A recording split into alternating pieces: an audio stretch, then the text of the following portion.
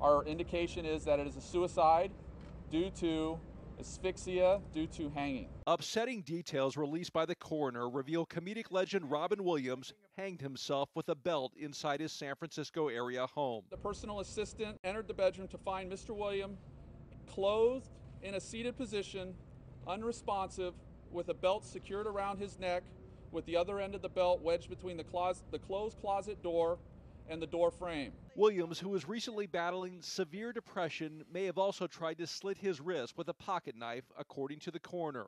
The 20 minute long press conference was deemed inappropriate by many, taking to Twitter, outraged over its gruesome level of detail about the death of the beloved star. Williams' wife, Susan Schneider, was the last to see the comedic icon alive.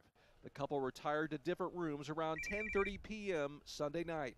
The next morning, believing Williams was asleep, Schneider left the house just an hour before his body was discovered. Before we get into the show, uh, we, like all of you, were shaken up a bit last night.